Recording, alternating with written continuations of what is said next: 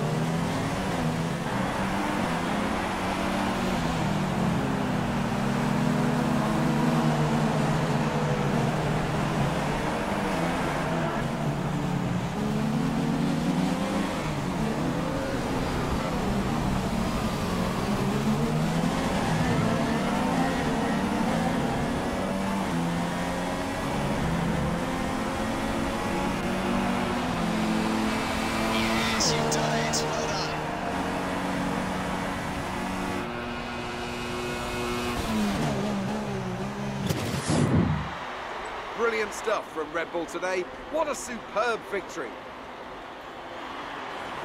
And I have to wonder, Anthony Davidson, just what set them apart from the competition here. Well, I think the track conditions just really suited their car today. Wind, track temperature, you name it. These cars come alive when the tyres are just at the right temperature. So the more easily you can keep them there, the better your race tends to go. And that's exactly what happened. Their car just looks so comfortable out there. And I can see now the drivers are making their way out. We need Red Bull fighting at the front. They do an incredible amount for Formula One. And that's another winner's trophy heading back to Milton Keynes.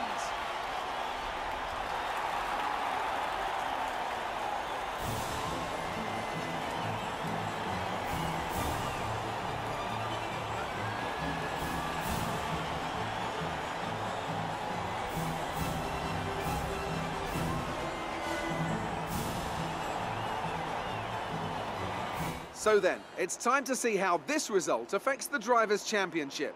Max Verstappen takes over the lead of the Drivers' Championship after that excellent result. And now I'd like to ask you, Anthony Davidson, who was your driver of the day? I'd say Max Verstappen earns that title today.